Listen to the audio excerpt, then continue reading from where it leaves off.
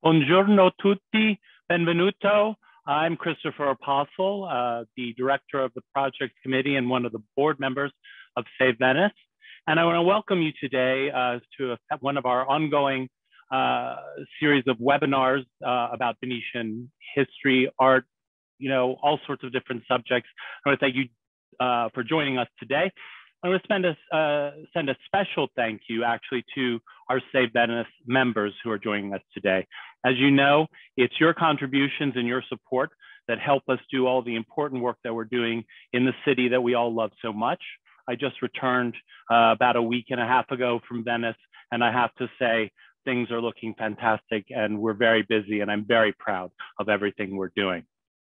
Today, our speaker is Professor Shaul Bassi, and he'll be talking about uh, Shakespeare's two Venetian plays, The Merchant of Venice and Othello, uh, which, uh, which dramatized the, the complex bond of Venice with the sea.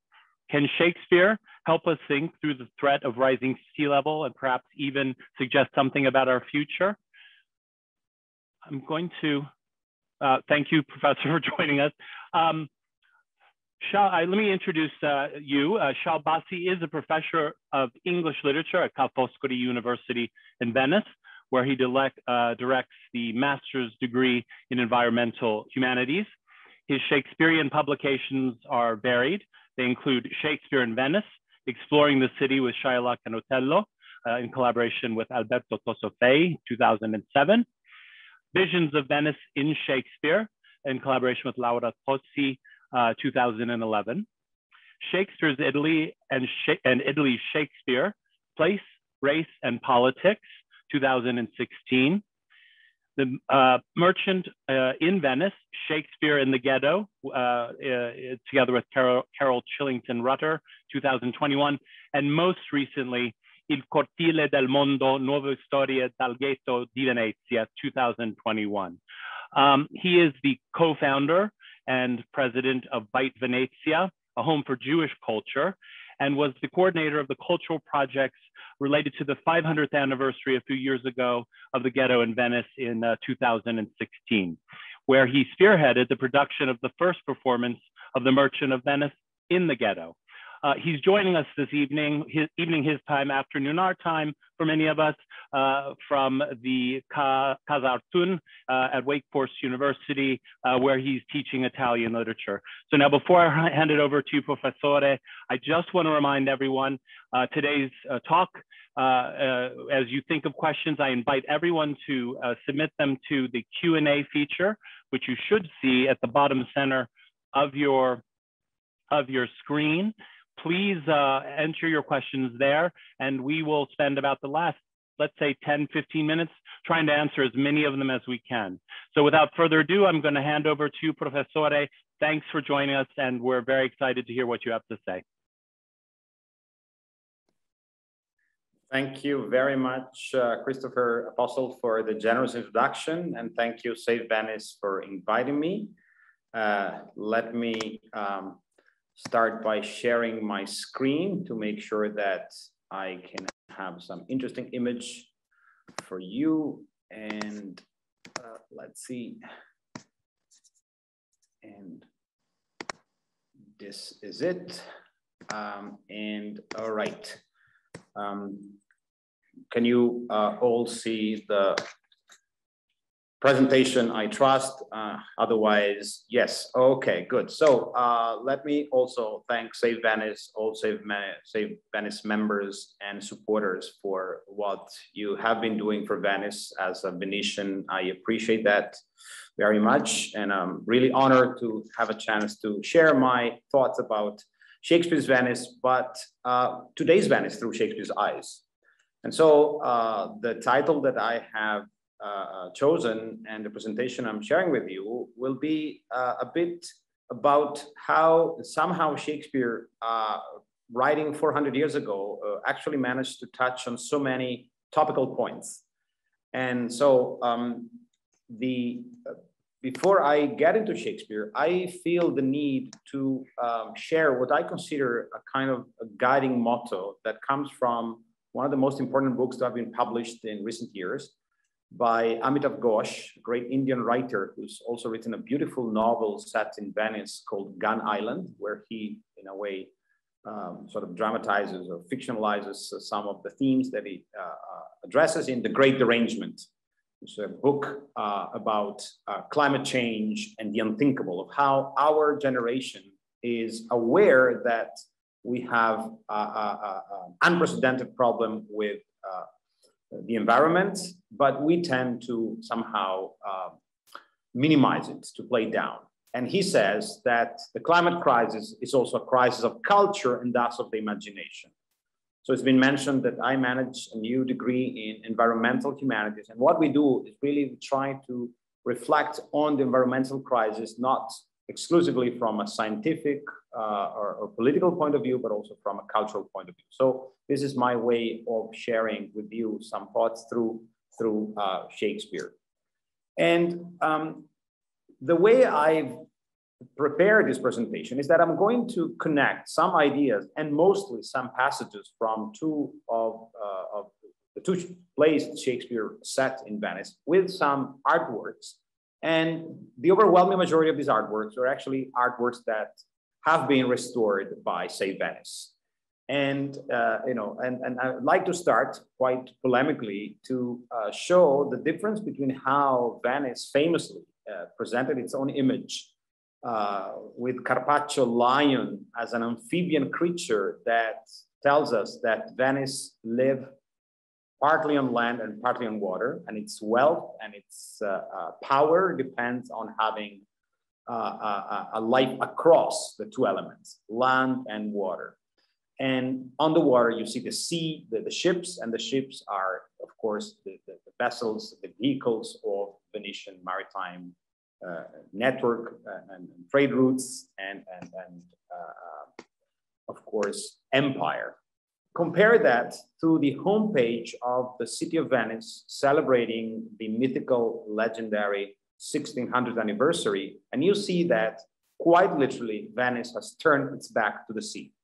The picture that is offered shows, of course, the main island of Venice, but looks towards inland, towards the mainland, towards the mountain. And there are specific uh, political reasons for that, because uh, uh, today the majority of, of, of, voters of the Venetian municipality live in the mainland. And, uh, and of course, I have uh, tremendous respect for that. But also, it I think to me, it's a sign of how Venice is uh, now thinking of the sea more uh, as a threat instead of as a resource, as uh, uh, an ally, uh, a spouse, as it was for centuries when Venice celebrating its marriage with, with the sea.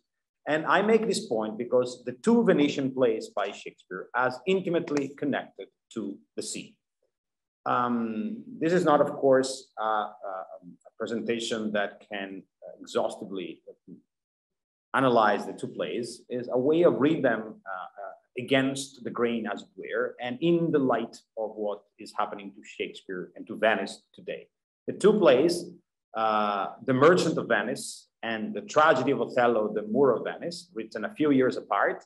Uh, the Merchant of Venice, a comedy a very dramatic comedy written 1596, 97, and Othello written between 1601 and 1603, have the uh, distinctive quality of incorporating the name of the city, Venice, in the title, which is very rare in Venice, uh, uh in, in Shakespeare. Shakespeare, uh, uh, of course, set almost one third of its play, his plays in, in Italy, but with a difference. Say the plays set in Rome are set in ancient Rome. Then there is, uh, of course, Romeo and Juliet in Verona, Taming of the Shrew in Padua, and others. But I think uh, arguably that no other play has a city that is so essential for its plot.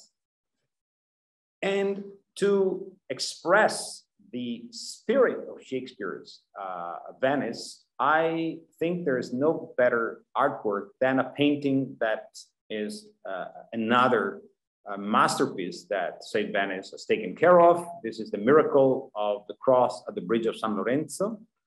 Um, allow me to say that uh, you can actually see the, my son's window in this painting, something that I always say to impress my friends. And, I, and I'm very grateful to my uh, enlightened landlords because they still want to have uh, Venetian residents or their tenants instead of uh, yielding to the pressure of tourists. But uh, this is not the reason why I'm showing you this uh, image. The reason why I'm showing this image because the image on the one hand represents Venice as a collective body, Venice as a civic community, but in this civic community, um, where you see devotion, you see uh, different people mixing, mingling, uh, but you also see two outsiders. One outsider is the only person that is dressed in red in the, on the right hand side of the bridge, where you see a whole group of people dressed in white. And then you see an African man, a black man on, you know, ready to dive into the canal. And of course, there's no connection whatsoever to Shakespeare that you know uh, lived and wrote uh, uh, uh almost 100 years after this painting was made. But to me, they seems to represent that interesting aspect of Venice that Shakespeare uh, um, sort of was interested in. The outsider in Venice, the stranger in Venice, uh, the Jew in Venice, Shylock, the moneylender, who is the most famous uh, character in The Merchant of Venice, and Othello, the Moor of Venice. In both cases, these two characters represent the uh, ability and interest of Venice of absorbing an outsider, actually to uh, um, be in need of that outsider for respectively economic and military reasons, and then ultimately uh, the uh, necessity to expel, to get rid of these outsiders. So this outsider is basically exploited and then uh, uh, finally, in one case, converted to Christianity. That's what happens to Shylock. And spoiler alert, you know, Othello, you know, kills himself, and um, uh, you sort of they they get that. Um, the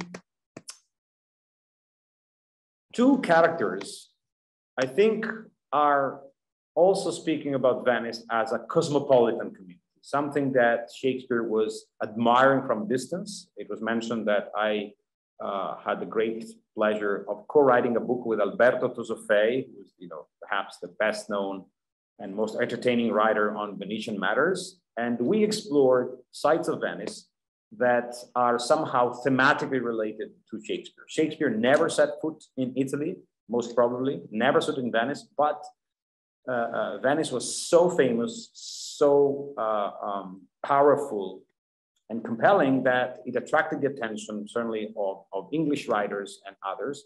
And this is why uh, Shakespeare took plots from um, uh, medieval stories or early modern stories written by Italian authors uh, that honestly few people remember nowadays and turned them into these two very, very famous plays who continue to occupy the stage to be taught and also to be made into movies. What you see in this slide, pictures of two, you know, uh, movies, uh, The Merchant of Venice, uh, made in the early 2000s uh, by Michael Radford, and the um, uh, Oliver Parker's uh, Othello, made in the mid 90s. Now, um, what I want to do uh, for the rest of this presentation is to connect some passages from the plays with uh, today's topic. So I'm not interested in exploring the, the, plots of the play. That's something that you can easily do in other uh, circumstances or through other means. I want to offer you a kind of contemporary Venice view of the plays, because I think that the plays have a lot to say about um, the city of today and, and also about the city of tomorrow. And I'm afraid to say, surprise, surprise, uh, we have to start from certain uh, problems that are, are plaguing the city. And uh, one word that has been used to describe that is over tourism. The last few days uh, have been spectacular. Uh, Christopher uh, was absolutely right that you know, Venice after the pandemic has had some sort of reawakening, but at the same time, the tourist pressure has never been so hard and uh, epitomized by the cruise ships and by the sheer amount of people that uh, even not having a lot of fun themselves are crowding the, the, the streets at certain moments. And so the little game I play is that I take a speech from the uh, Merchant of Venice. Uh, this is a line spoken by the Prince of Morocco, that is one of the suitors to the noble woman Portia uh, that he wants to marry. And he is praising Portia. And the little trick for me is to replace the name of Portia with the name of Venice. And you will see how uh, Shakespeare seems to be utilizing the propaganda that Venice itself was producing in the starting with the 15th and, and, and, then developing or booming in the 16th century to attract people from everywhere. Um, the lines are basically saying that uh, everyone desires her. Morocco means Portia, but I think that Venice, you know, is desired worldwide. And people comes from the four corners of the earth to uh, kiss this shrine, this mortal breathing saint, and no physical barrier is enough to stop the people. Uh, even the watery kingdom, the sea, the ocean, cannot bar people from come. The seas are actually turning to brooks.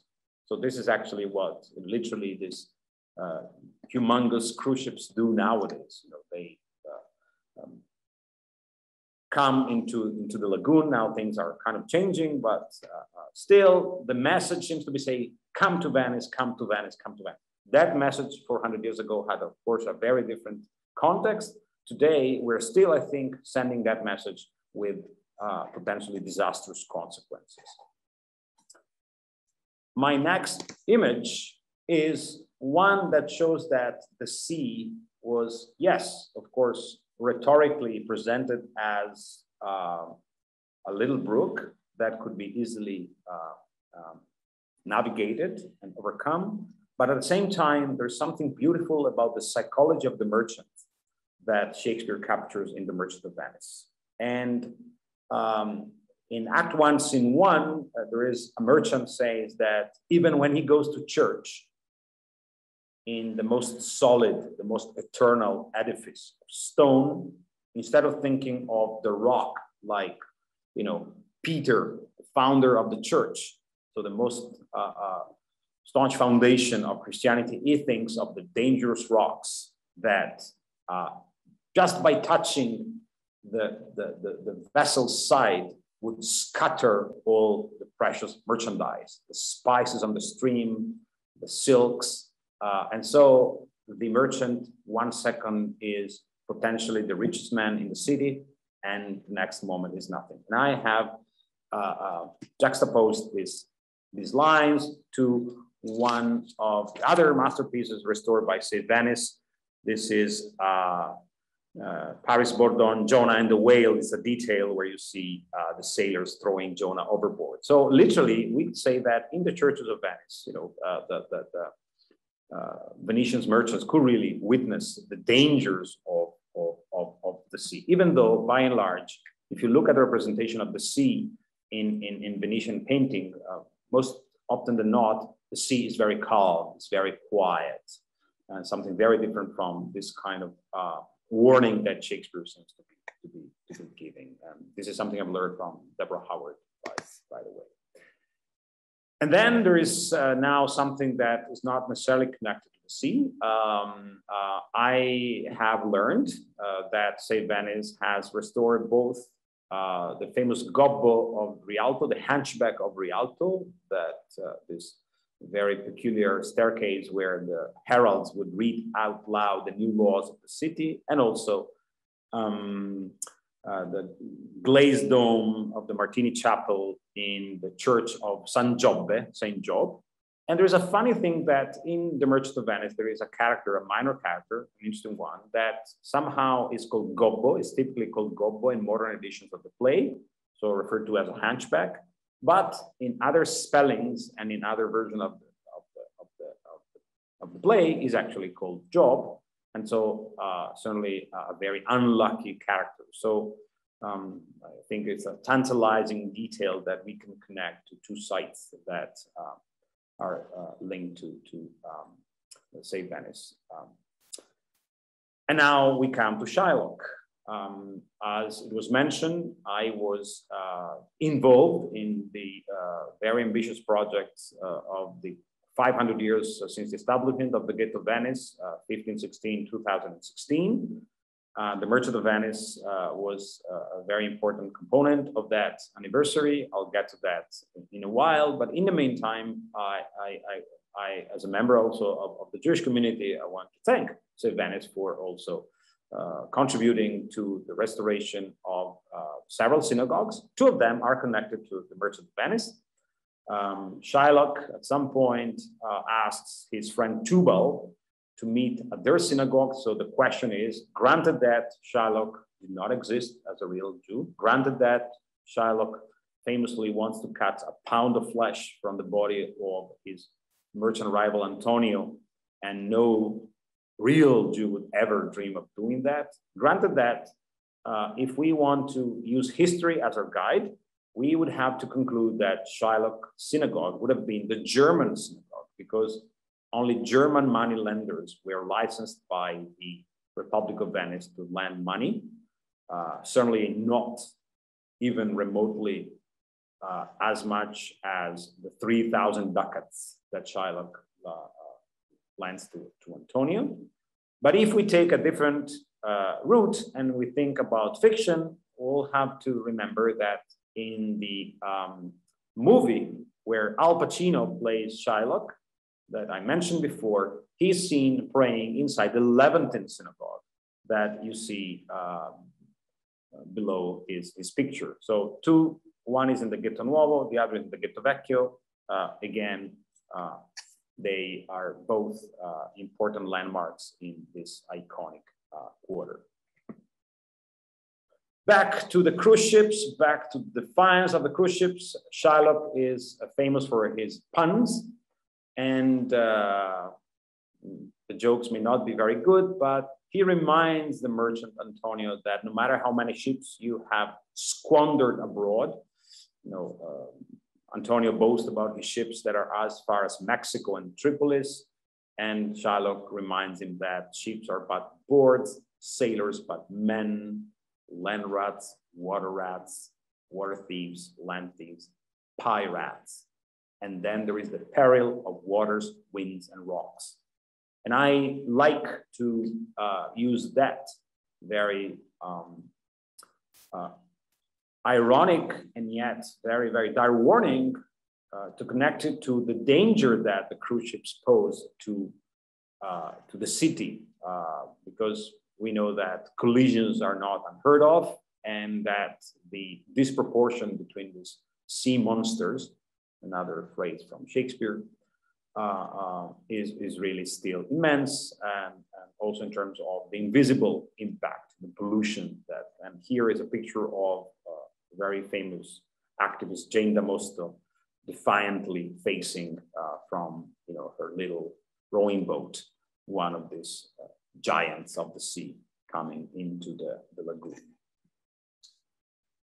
In 2016, I was happily part of one of the most exciting experiences, bringing the Merchant of Venice into the ghetto for the first time. Um, this was a university project that we spearheaded. Um, it was a European project.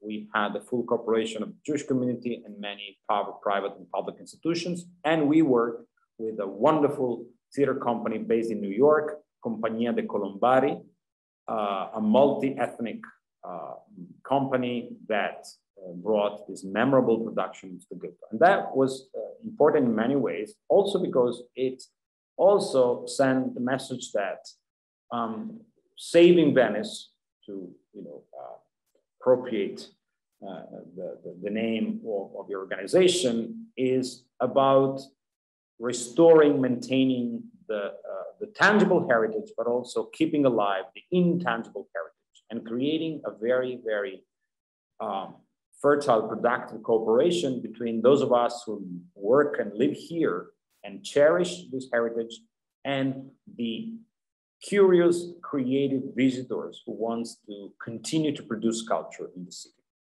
And this is a point, it will be a point that I would like to conclude my uh, presentation uh, with a bit later. So what happened was that for uh, several weeks and two consecutive summers, several weeks, this company came together. And the most audacious move by uh, Karin Coonrod, the great director, was to cast five different actors, including a woman, as Shylock. Just to, I mean, there are many ways to interpret that. One uh, way is to say, uh, let's not confuse the fictional Shylock Shakespearean Jew with the historical Jew that lived in that place. Uh, let's see uh, Shylock as ambivalent, complex, multifaceted character, and literally each scene was played by a different uh, actor.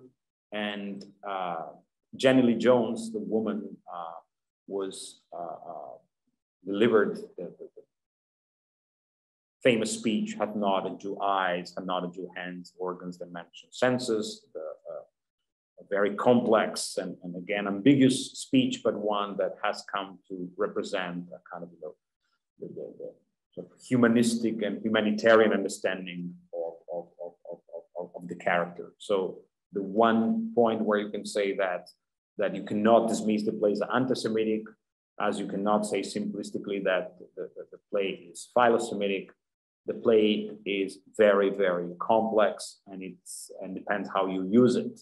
And what they did was not to import from elsewhere uh, production of the play as much as creating a production of the play in close conversation with the community of Venetians, the community of Venetian Jews, and also the place, the sites, the synagogues. It was really uh, uh, uh, um, a sort of a very productive interaction with the heritage, cultural and artistic heritage of, of, of the play.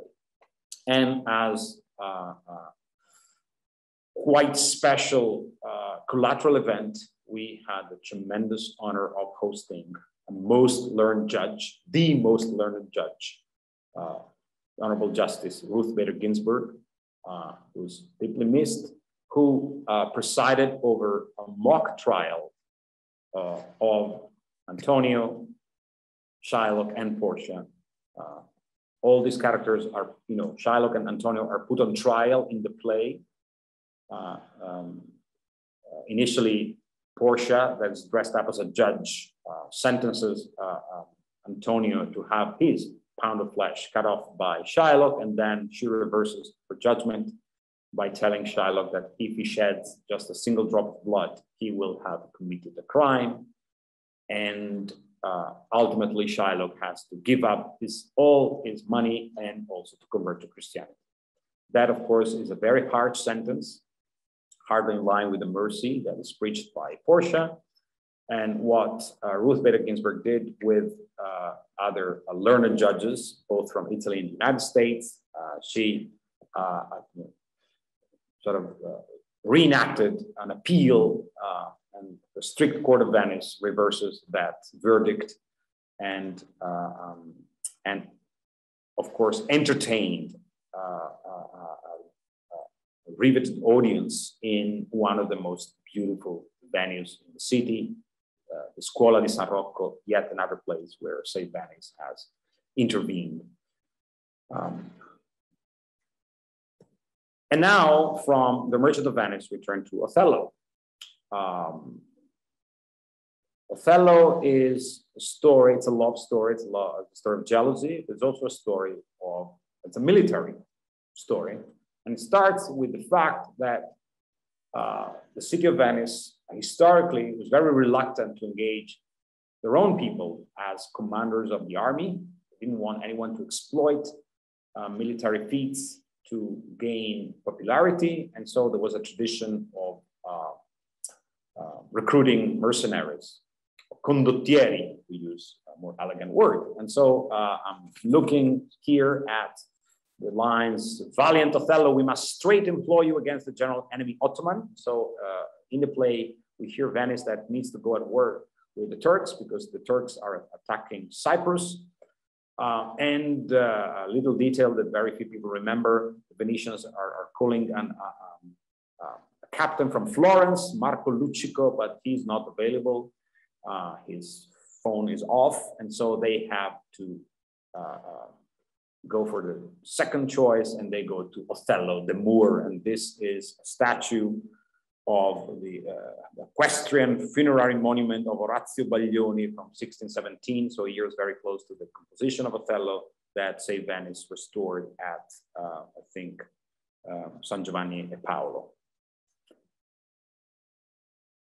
Othello, but Othello is also a great love story because uh, uh, the, the, the, war with the Turks uh, becomes unnecessary, for reason that we're going to see shortly.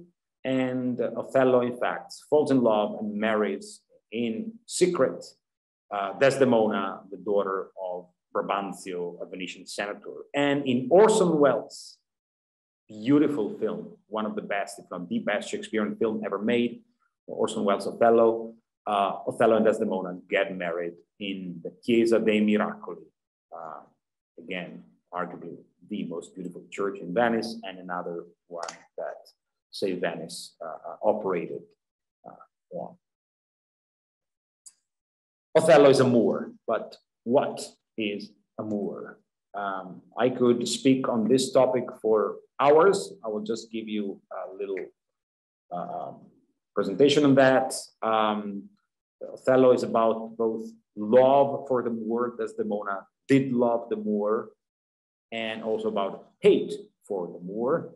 Uh, Iago, the uh, uh, lieutenant that uh, is first snubbed by Othello and then becomes his best friend and collaborator, and then Iago convinces Othello that his wife, his new wife Desdemona, actually was unfaithful, and that leads to this tragedy where everything is a fiction. And um, a lot of, you know, countless studies have been published and continue to be published about the meaning of the word Moor. Uh, I chose as the photo, uh, beautiful photo by Gabriele Gomiero that was part of the book that I wrote with Alberto Toso Fei, Shakespeare in Venice. Uh, one of the Moors on the top of the clock tower in, in, in, in Piazza San Marco.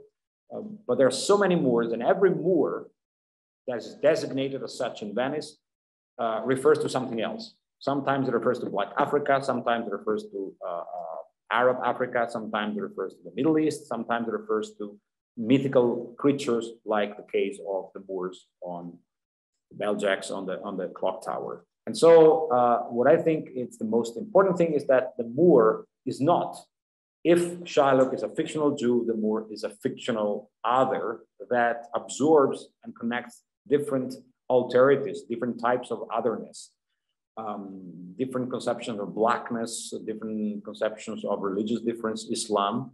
And the one little story that I think is interesting to share is the one of the Moors in Piazza San Marco.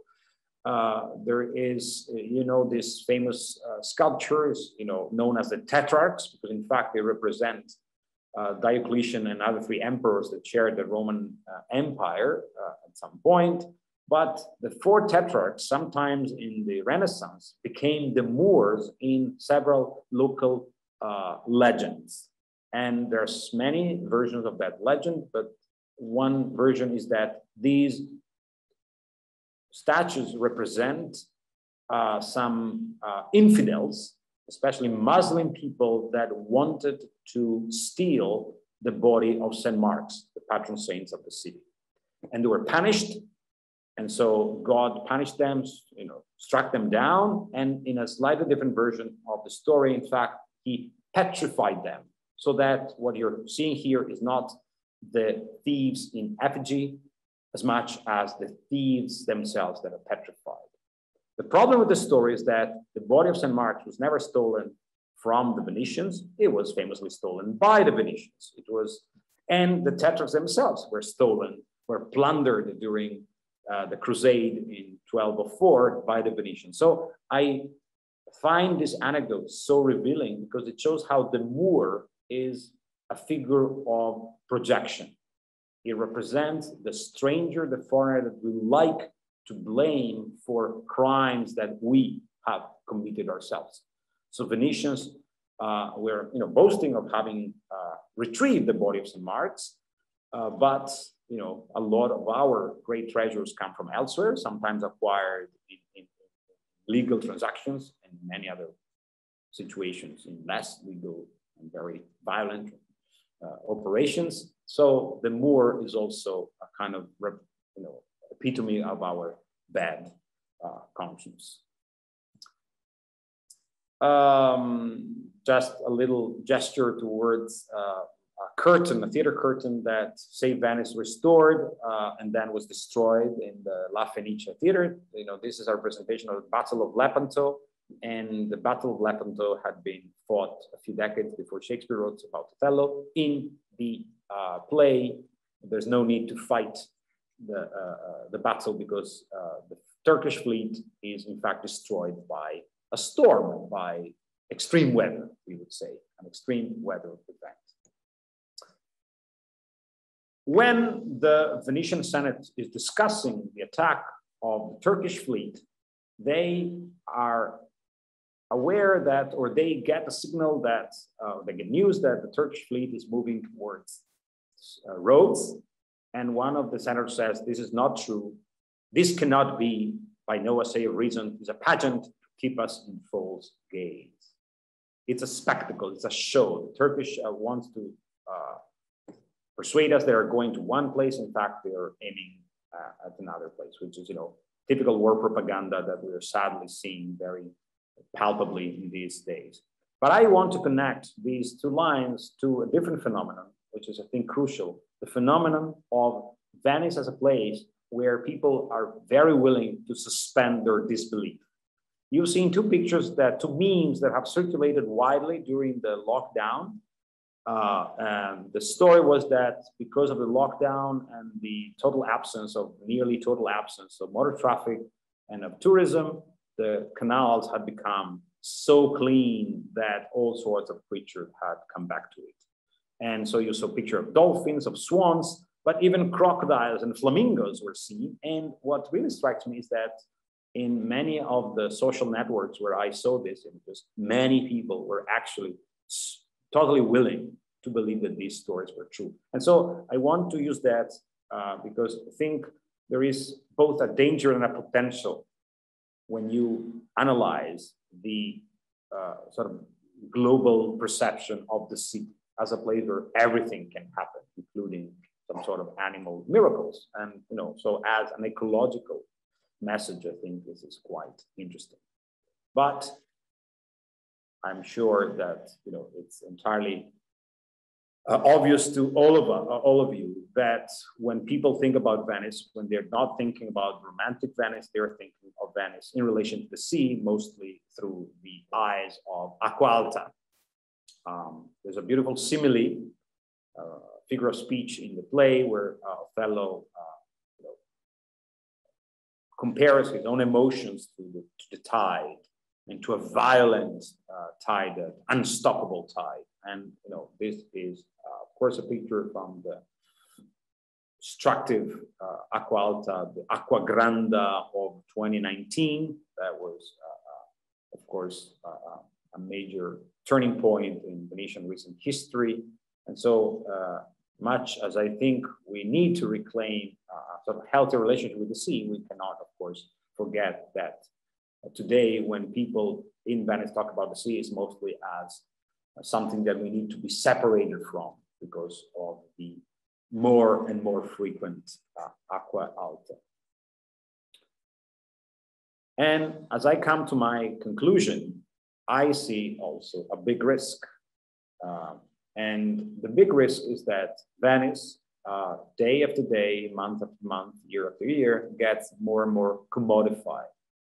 When Othello is fully persuaded that uh, Desdemona has been unfaithful and that everyone is making fun of him uh, because he's a cuckold. And, and the great genius of Iago is that he convinces Othello that the best evidence that this is indeed the case is precisely that he doesn't see it precisely because he doesn't see the truth of Desdemona's infidelity, that means that she was indeed cheating on him.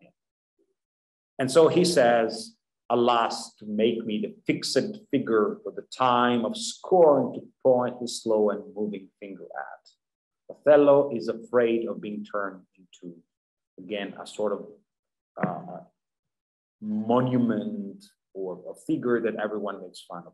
And I think there is a great danger that Venice becomes not the vital, vibrant organism that continues to renew itself, but it turns into a fixed figure that just needs to be consumed.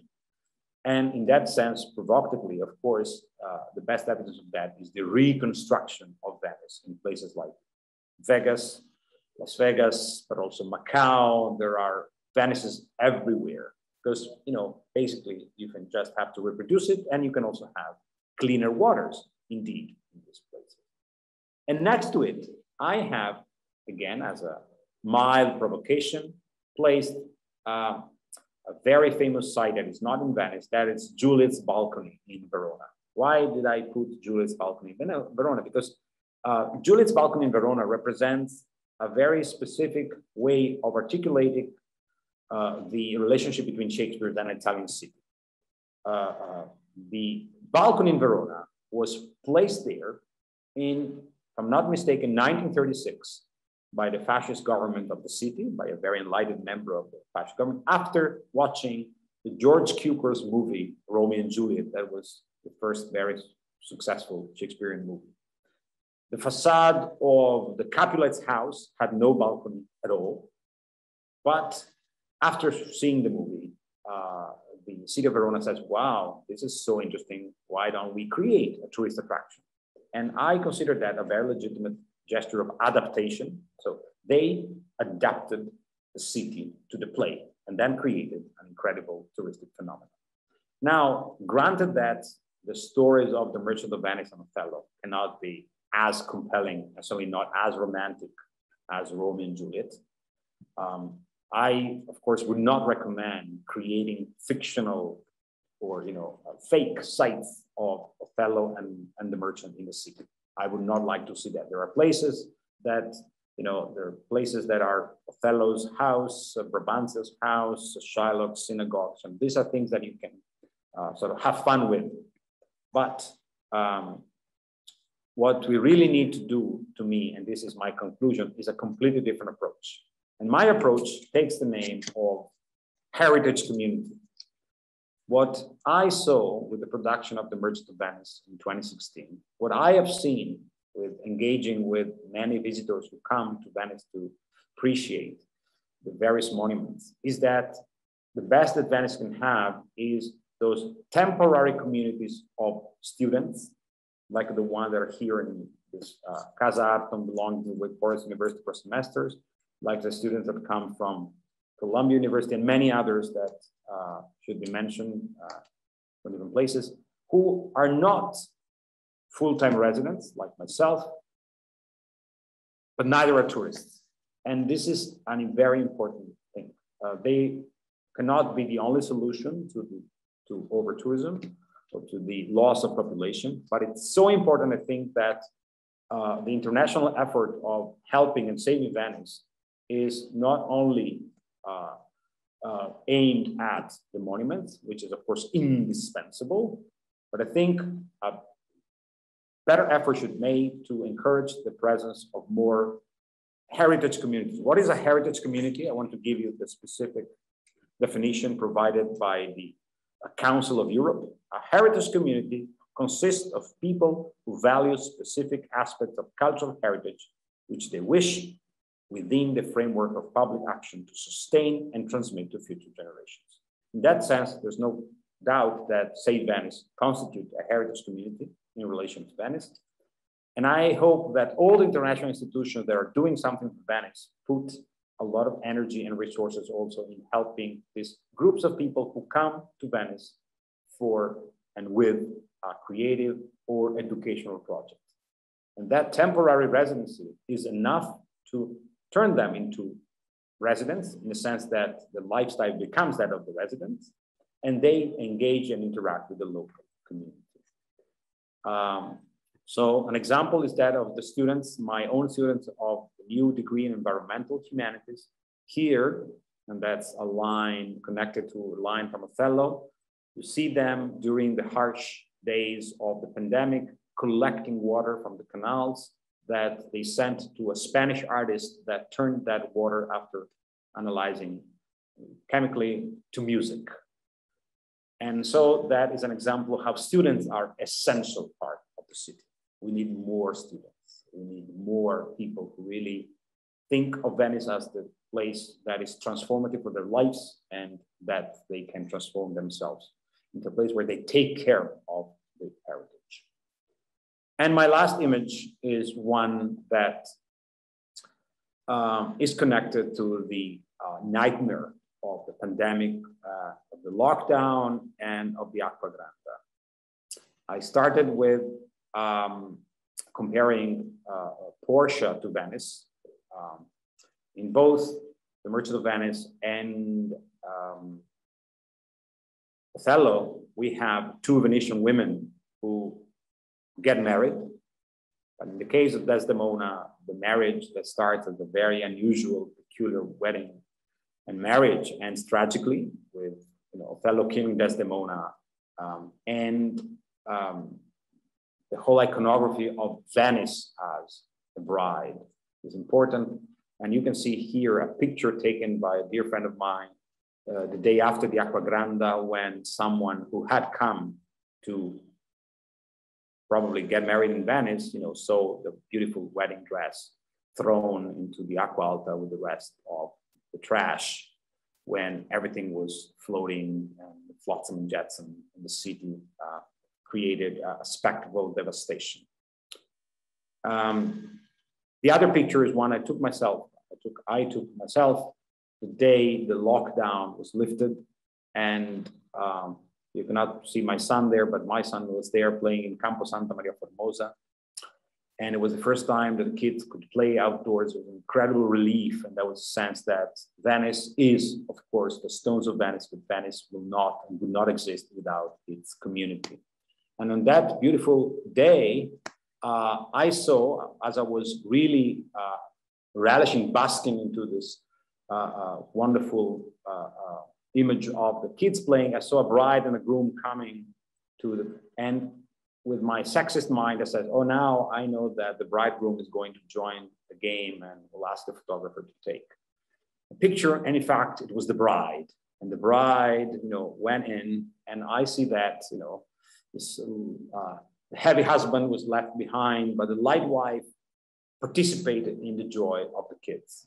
And so I see that you know, uh, with a little poetic license. I see that also Shakespeare is aiming at this interaction between the visitors and the locals. Both plays in written in the 16th and 17th century could not have, let's say, a happy ending in terms of integrating foreigners into the city. Today, we live in a moment where only the uh, harmonious interaction of the visitors, the temporary residents, and uh, uh, the residents can really propel Venice to a sustainable future. And I think Venice is the best candidate to be the one city in the world where the best minds can come and think about long-term solutions for the city, but also for all coastal cities in terms of uh, reacting to the great threat of uh, the environmental crisis. Thank you very much. Uh, fantastic. Thank you, Professore. Very, very interesting. And I have to say, some very both beautiful and slightly heartbreaking images, especially the one of the wedding dress. I hope uh, she had her wedding anyway after the, the floods. But uh, I'm going to invite everyone to uh, send in some questions. I see there's uh, uh, one or two coming in, but um, I'm do you mind if I start by asking a question myself? Um, this is a, a, literary question, and I just think of these two plays. You talked about the otherness of, of some of the, the uh, you know, the two main characters really, um, or two of the main characters in each, uh, Shylock and of course Othello. And I just wondered if there was something, you know, certainly Shakespeare would have likely have known an African, I would imagine, you know, because they, I think they were in Elizabeth, Elizabethan England, there were community of, of Africans there, but I don't think he would have known uh, a Jewish uh, person because they, there was no community in England at that time my question is is there something about venice that you think represented for him a place that this that these people these others could inhabit and do you think because i, I don't think of you know, Verona or other cities, Mantova or wherever else he set his plays, I don't recall other, or at least as strong other characters. Uh, is there something about Venice that's special in that way, or was special to him? Um, thank you for the, the, the question. Um, actually, scholars have uh, uh, determined that there was a minimal Jewish presence in, in Shakespeare's London. So, uh, or at least there were there was a presence of, of, of, of Marranos, so Jews that had converted to Christianity after being or expelled or not having been expelled, you know, from the Iberian Peninsula. But I think the question whether Shakespeare met in person uh, either African or Jews or both African and Jews is, is less important than whether, uh, uh, as it happens, Venice was in fact the place that triggered the idea of an international community.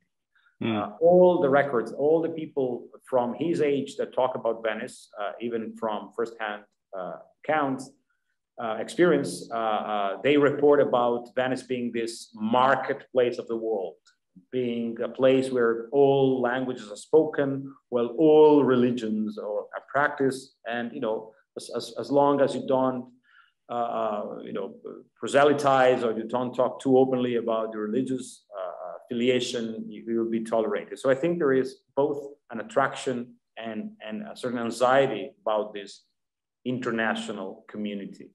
Mm. So uh, yeah, so uh, cosmopolitan Venice, I think it's it's it's it's a it's a good uh, definition. Um, right. I, I uh, talked about that. Uh, this also helps me to to ask the question that that Catherine Mattingly has uh, asked. You know whether there are tours in Venice based on these two plays. I'm not aware of any organized tours. I know that I myself have occasionally taken tourists around, and in fact, every summer I uh, teach in a, a Ca' Foscari Harvard summer school, and that is based on, you know, precisely on, on, on this vision of, of Venice as, as the city where Shakespeare writes about Jews and Moors. And we took the students to see all the relevant places that communicate the um, uh, ambiguity and ambivalence of the term Moor and the uh, specific Jewish history, comparing the history, the fact of Jewish Venice, the synagogues that existed with the fiction of, of Shakespeare. So I think there is uh, a lot of you know learning that one can, can have. And so if, if, if uh, Catherine ever comes this way, please, she should look me up. Be very happy to, to walk with her. You, I think you just signed yourself up for a tour. So uh, Catherine, you have to buy him lunch at least, you know. um, uh, Donna Serve is asking, um, uh, some people are using the chat, so I'll read some of those function to ask questions. She says she loves your thoughts about the need for more students in Venice. Could you elaborate on ways to promote this trend and to what extent is this already happening? Okay, um, first of all, hi Donna. And uh, my, um, well, I think that there's now uh, uh, uh an awareness uh, uh, that, um, you know, in, in, in, in my own lifetime, I've seen 50%, over 50% of the Venice population live in the city. And I think there is some cynical uh, sort of perspective that this happens to all historic centers and that's nothing we can do about it. And, and certainly the real estate market doesn't help. Uh, even though during the, the lockdown, you know, a lot of people who are living off the, the Airbnb economy uh, suddenly realized that that was not always the best solution. And in fact, you know, we had that strange moment where the city was uh, completely empty.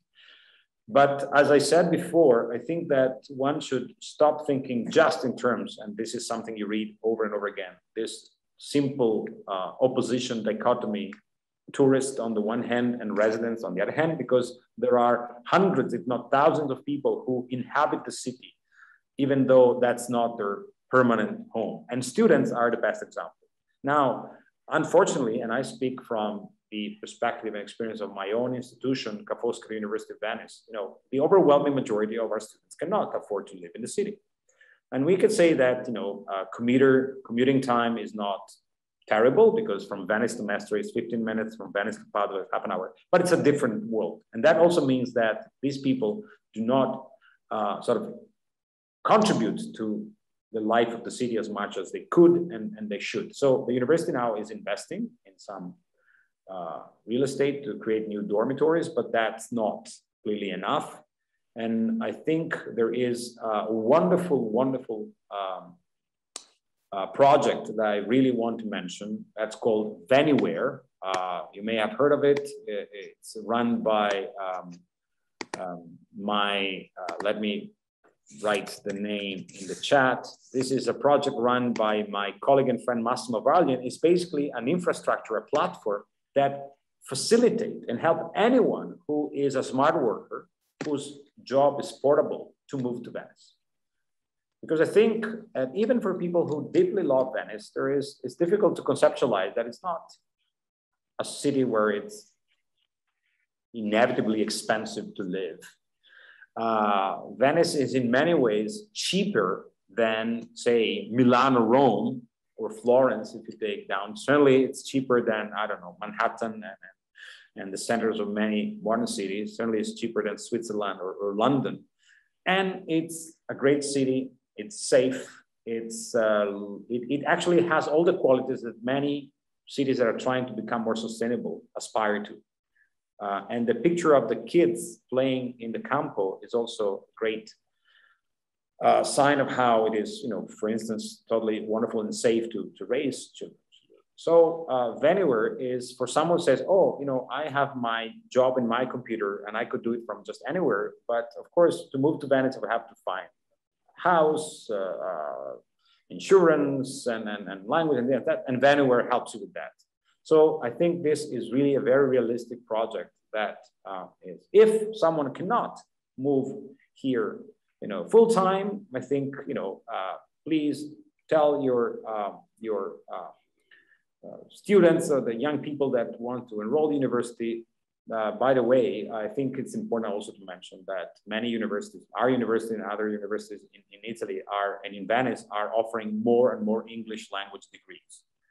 And and I'm not advertising that because you know uh, uh, for for any commercial reasons, but I think you know this is really a moment where some uh, deep uh, reflection needs to be made about the future of Venice as a community, and and you you don't do that unless you think of very practical ways of keeping this community because that community is also the one that knows how to take care of the beautiful monuments that that um, that uh, Save Venice uh, um, uh, you know has has restored.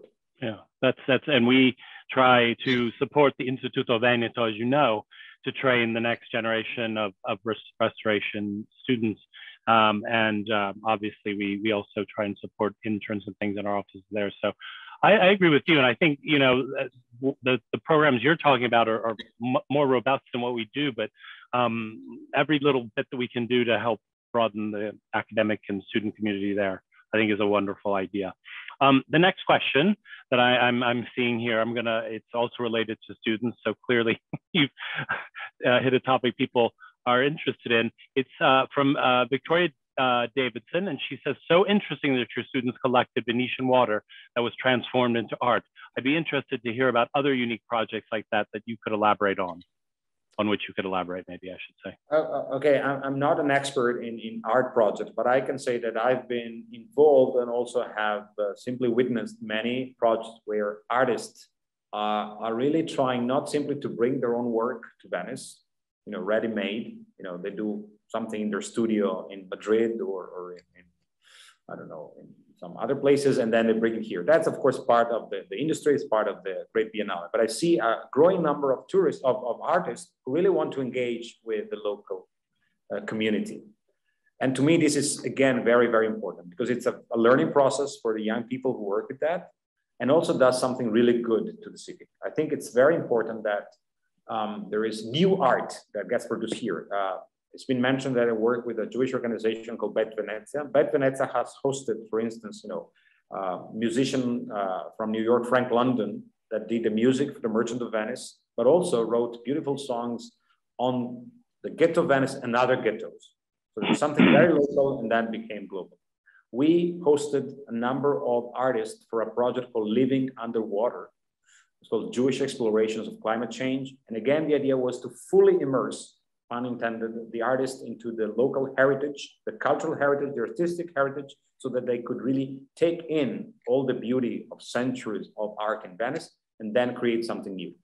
And that I think is the kind of virtuous cycle that, that we need.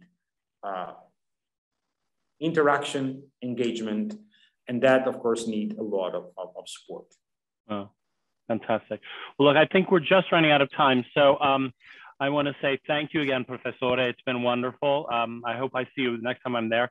Catherine has promised to buy you lunch, and maybe I'll go at the same time so she can buy me lunch too. Um, I just want to uh, remind everyone that if you do have other questions, um, do send them in, and we'll try and answer them offline. Um, I think there are obviously many, many points uh, that uh, Professor Bassi touched on that we didn't get to because this could be another two hour conversation. And uh, unfortunately, we don't have time for that. Um, I do want to remind everyone, though, as we did talk about uh, very deeply about um, the environment and about uh, the challenges that uh, low-lying cities and certainly Venice faces uh, to continue to think about consult, uh, con, uh, pardon me, supporting uh, the immediate response fund that was set up by Save Venice very quickly after the 2019 uh, Acqua Alta in November that year. Um, we've worked in over 22 sites from the Lido and all over, all the way up to Torcello. So um, it's a very important uh, aspect of what we're doing and what we will be continuing to do because this is not a problem that is, uh, you know, going to go away. Um, we have already raised $700,000 and uh, most of that has been sent. So uh, if you think about making a, an upcoming donation uh, to Save Venice, uh, maybe this time think about the, the IRF, the Immediate Response Fund, uh, to focus on instead of a general fund or, or project committee. And that's me, the head of the project committee saying that, but everything is being put towards the preservation of the cultural heritage, the artistic heritage, uh, and the world heritage uh, of uh, that Venice represents. So I want to thank all of you very much. I want to thank our supporters our board members, our, uh, our Save Venice members, and I especially want to thank uh, Professor Bassi, who's taken uh, uh, some time of his day today to get us very excited about Shakespeare, about Venice, uh, about the environment, and about uh, students and learning. And I could keep going on and on. So I want to thank everyone. I want to remind you that our next webinar is in, in, the not too distant future. It's on May 18th. I guess that's only three weeks. Um, it will be on Giovanna Garzoni, a woman artist and musician in 17th century Venice, presented by Dr. Sheila Barker. It will be a wonderful uh, exhibition, uh, pardon me, a webinar. If you don't know this artist, you're in for a real treat. She's really wonderful and, and a very beautiful painter. So I want to thank everyone. I want to thank again Professore Bassi for joining us from Venice. And uh, I'll see you guys hopefully either in Venice or New York very, very soon. Bye-bye, everyone. Bye-bye. All right.